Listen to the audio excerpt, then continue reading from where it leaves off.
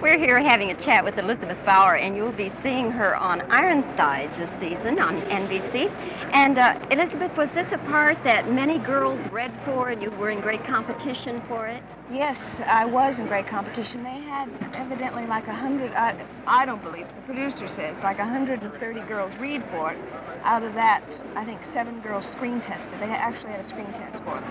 And um, I got the. How did you prepare for this? For the screen For test? the reading, uh-huh, and, the, and Um, the test. Well, I just knew what they wanted.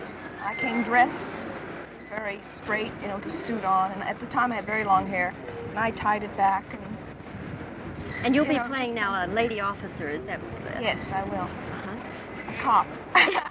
A lady cop. Well, you got to be one of the prettiest lady cops Oh, anybody's thank- ever seen. Thank you. Uh, was it a part that you desperately wanted, or were you just kind of philosophical about it? Well, I thought I'd never get the part Uh-huh. um, because I thought possibly I was not the right type, or I might be too small, or you know something. Because some of my girlfriends tested for the same part, and they were possibly more right compared to Barbara Anderson. And uh, I got it was really a shock to me. So I wasn't real eager to get it. I was eager to do some, some film over it. I've never worked at Universal. It was always at 20th Screen Gems.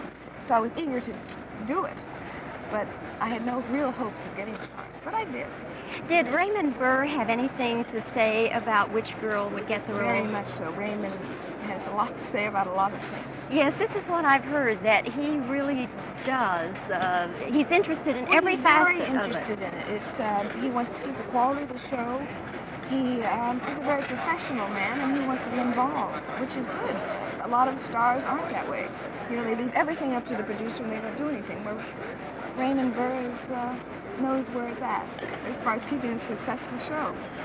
Did had you you hadn't met him then before you did this uh, series?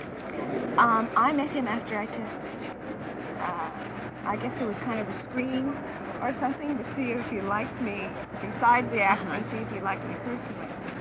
Yes, because I understand that he really wants a very compatible set. He just won't put up with any Yes. uh, shenanigans. He won't because uh, it's a hard day. We work long, hard hours, you know, from 6.30 in the morning to 6.30 at night. And people can get on each other's nerves, and if you don't have any, you know, nice things going on, it can be terrible. Well, Elizabeth, we hope it's a big success for you, and we'll look forward to seeing you as Officer Fran Belding on correct. Ironside. That's right. Thank you.